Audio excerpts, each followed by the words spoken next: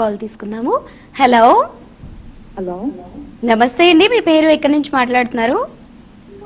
నా పేరు రాధిక అండి. రాధిక గారు మీ సందేహం ఏంటో అడగండి. గేట్ నుంచి మాట్లాడుతున్నానండి. అమ్మ ప్రశ్న అడగండి. గోప్రవేశం అవుతుంది కదా.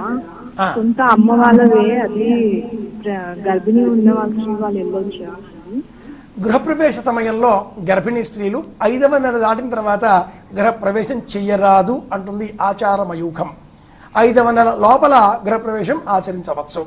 కాని పక్షంలో గృహప్రవేశాన్ని నిలిపివేసుకోవడం మంచిది. కుదరని పక్షంలో ఇల్లు కట్టి అలా ఎంతకాలం అట్టి పెట్టడం అన్న ఆలోచన కలవారు.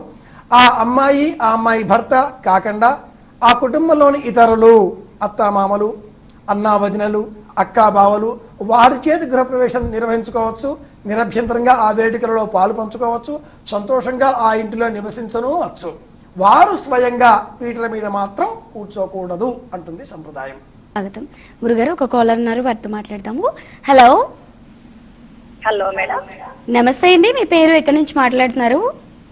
హైదరాబాద్ చంద్రకళ ఓకే అండి. మీ సందేహం ఏంటో అడగండి. పెళ్ళి అయిన నెల నేను ఆ, అడగండి.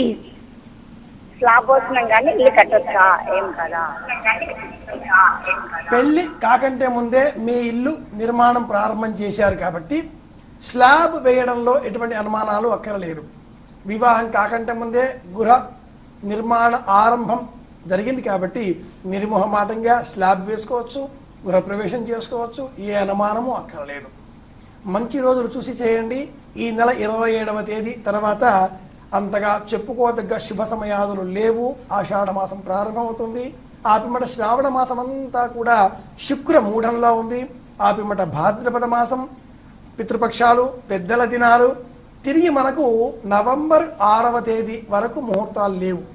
జూన్ ఇరవై ఏడు తర్వాత నవంబర్ ఆరు మధ్యలో అనుకూలమైనటువంటి రోజులు లేవు అని చెప్పాలి.